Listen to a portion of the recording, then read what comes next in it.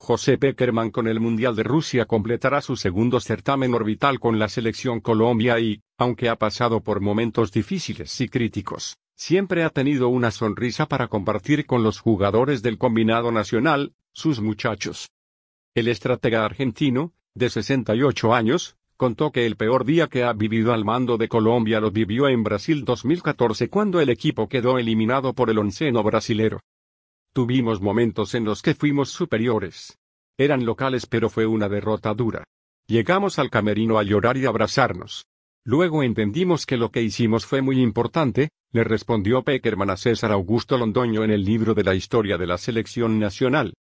Además el estratega señaló que no olvidaré el recibimiento de los colombianos una vez aterrizamos en la capital del país. Fue un momento que estará por siempre en mi memoria. Por ahora el entrenador solo piensa en Rusia. Tendrá que elegir los 23 jugadores que estarán en la lista final y no será una decisión fácil. Sabemos que es una responsabilidad y quisiéramos llevar a todos pero es imposible.